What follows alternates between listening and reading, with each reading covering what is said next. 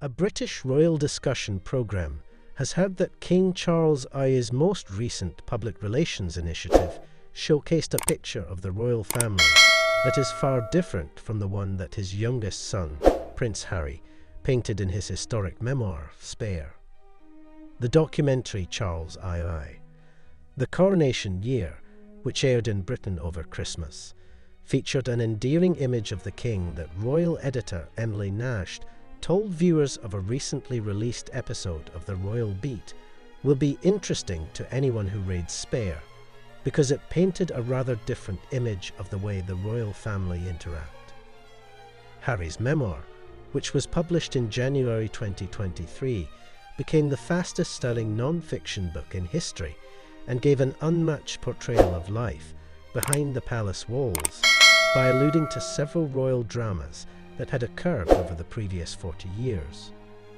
One of Harry's primary complaints in his book was the absence of physical closeness or affection among the royal family, something he has since stated he is careful not to repeat with his own children.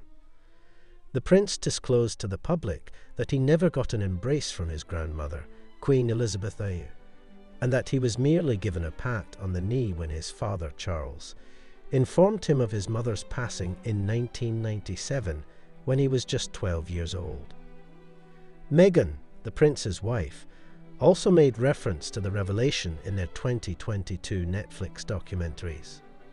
The Duchess revealed to the audience on the show that she was taken aback when she first met future sister in law Kate and discovered that she was resistant to hugs. It's like I was a hugger. I've always been a hugger, she stated. I didn't realise that that is really jarring for a lot of Brits.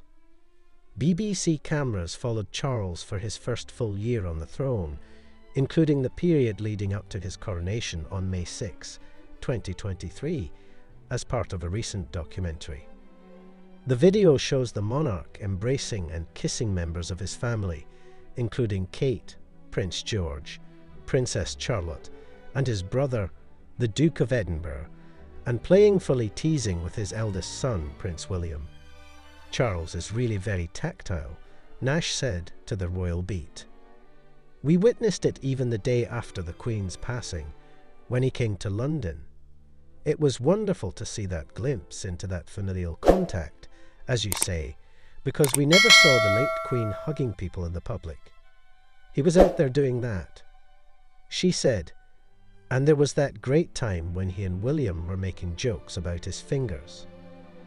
Which shows again a sense of humour that perhaps people hadn't appreciated beforehand.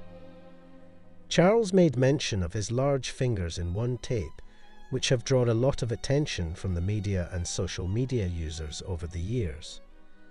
During a practice coronation, William struggled to close a clasp on the monarch's robes. Charles laughed, saying, you haven't got sausage fingers like mine.